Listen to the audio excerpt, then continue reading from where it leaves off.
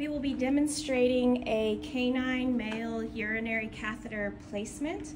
This would be indicated if you want to get a urine sample from a dog. You can do a single pass urinary catheter. You can also leave an indwelling urinary catheter for patients that are non-ambulatory, patients who are paralyzed, patients who have severe trauma or are critically ill and you want to prevent urine scald. There are many different indications for urinary catheter placement. In this example, I'm going to be sterilely placing what I would use for an indwelling urinary catheter. In this example, I'm going to use a red rubber, although you can also use Foley catheters, which would actually be ideal because they have a balloon on the end that will help keep it more secure. My assistant Sarah is retracting my prepuce for me. We've already cleaned with our antiseptic. We flushed the prepuce five times and we actually cleaned the outside of the prepuce as well before placing this urinary catheter. I've got my sterile gloves, my sterile catheter, and it's pretty straightforward. I'm gonna grasp this catheter pretty close to the end of it so I have the most control. You can see if I try to grasp way back here, it's gonna be much harder to get this into the urethra. So I'm gonna grasp it close, and as long as I have gloves on, that should be okay. If this was just a single pass catheter, I might even use just regular latex gloves. So you can see the urethral opening here at the tip of the penis. I'm gonna put this catheter in and I'm gonna gently feed it there is a pelvic flexure to the urethra right about here, so you may encounter a little bit resistance as you go around that bend.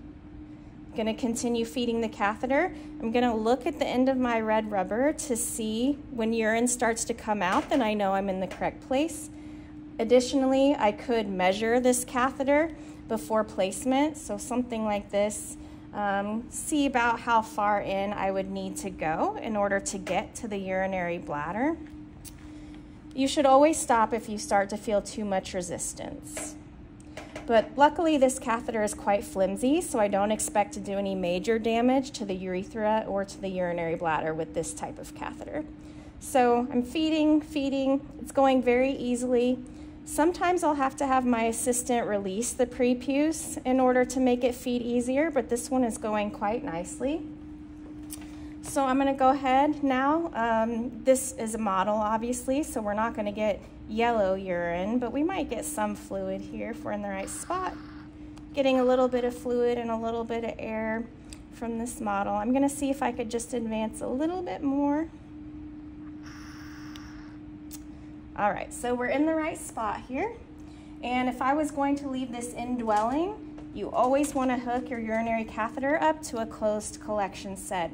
I never want to leave an indwelling urinary catheter inside a patient for prolonged periods of time with nothing to hook it up to because this would be a great way for bacteria to enter to the urinary tract and we don't want that. So I'm going to take my closed collection system, hook it up to my red rubber, and now the urine should start flowing into my closed collection set. And of course, I'll have to secure this catheter.